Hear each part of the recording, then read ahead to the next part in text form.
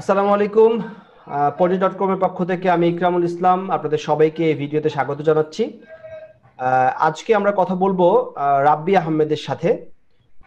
রাব্বি আমাদের এখান থেকে পিএইচপি শিখেছেন এবং পাশাপাশি ইন্টার্নশিপ করেছেন এবং সে এখন বারকোটেক অটোমেশন সফটওয়্যার কোম্পানিতে জব করছেন। তার যে সফলতার গল্প আমরা তার মুখ থেকে শুনব। রাব্বি কেমন আছেন? আসসালামু আলাইকুম ভাইয়া আমি ভালো আছি। আপনি ভালো আছেন? আছি আলহামদুলিল্লাহ। আপনি প্রথমে আপনার পরিচয়টা জানতে চাচ্ছি আপনি কোথা থেকে পড়াশোনা করেছেন এবং হচ্ছে পল্লীতে কীভাবে আসলেন এটা জানতে চাচ্ছি। জি আমি রাব্বি আহমেদ আমার বাসা টাঙ্গাইল জেলাতে। আলহামদুলিল্লাহ আমি বাংলাদেশ স্টুডেন্ট পলিটেকনিক ইনস্টিটিউটের এর কম্পিউটার টেকনোলজিতে ডিপ্লোমা শেষ করেছি। আচ্ছা আচ্ছা। আর আমি পণ্ডিত সম্পর্কে জানি দুই হাজার আঠারো সাল থেকে। তো দু হাজার আঠারো সালে আমার ক্যাম্পাসের বড় ভাইদের মাধ্যমে আমি পণ্ডিত সম্পর্কে জানতে পারি এবং তখন আর কি তাদের সাথে পিএসপি ওয়েব ডেভেলপমেন্ট কোর্সটা করি। তাদের স্যার আমাদের ক্লাস নিয়েছিল। আচ্ছা আপনারা যে আপনি যে বললেন আপনার বড় ভাইদের কাছ থেকে আপনারা জেনেছেন মানে আপনাদের যে সিনিয়র ভাইরা ছিল তাদের কাছ থেকে আপনারা জেনেছেন যে পণ্ডিতে এই কোর্সগুলো করানো হয়। তার মানে কি আপনার বড় ভাইরাও পণ্ডিতের সাথে যুক্ত ছিল কোনোভাবে ট্রেনিং এর মাধ্যমে? জি আচ্ছা, আচ্ছা। আচ্ছা এমনি আপনার বড় ভাইরা তো আপনাদেরকে বলেছে যে হচ্ছে যে পণ্ডিতে আমরা ট্রেনিং করছি তোমরাও করতে পারো।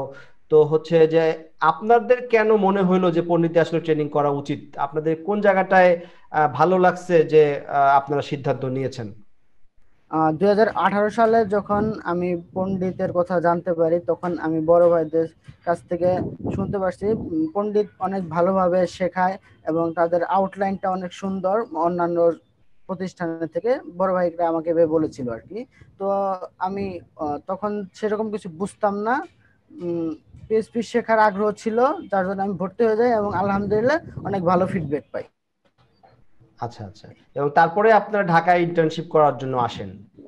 হ্যাঁ আমি যখন দুই সালে দুই সালে কোর্সটা করার পর ভালো ফিডব্যাক পাই তখন আমার অষ্টম সেমিস্টার ইন্ডাস্ট্রিয়াল ট্রেনিং এর জন্য আমার প্রি প্ল্যান ছিল যে আমি সেখানে যাব যেহেতু আমি আগে ভালো পেয়েছি। তো আচ্ছা, আচ্ছা। তখন আর কি আমার ফ্রেন্ডদেরকে সাথে নিয়ে দুই হাজার বিশ সালে ইন্টার্নশিপে আসি।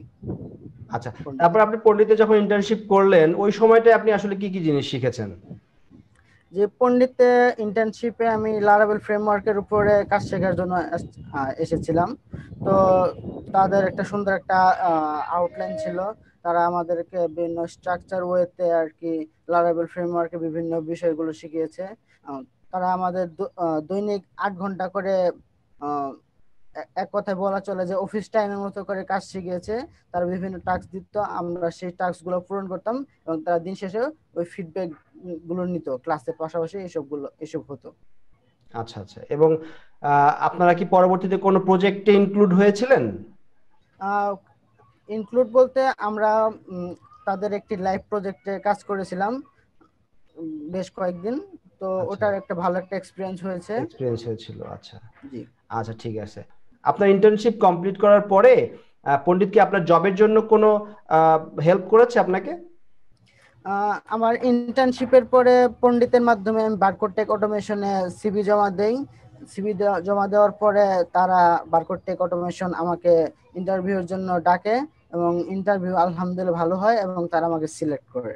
এখন আমি বারকোড টেক অটোমেশনে চাকরিরত অবস্থায় আছি। আচ্ছা তার মানে আপনি এখন তো মনে হচ্ছে আপনাদের হোম অফিস চলতেছে তাই না? আপনার ব্যাকগ্রাউন্ডে এনভায়রনমেন্ট দেখে মনে হচ্ছে আপনি এখন বাসায় বসে কথা বলছেন। জি জি লকডাউনের কারণে হোম অফিস হোম অফিস চলছে আচ্ছা। সো আপনি যে বারকোড থেকে জয়েন করেছেন এখানে আপনি কি ধরনের কাজগুলো সাধারণত করেন? বারকোড টেক অটোমেশন বেসিক্যালি এটা গার্মেন্টস রিলেটেড সফটওয়্যার ডেভেলপমেন্ট করে।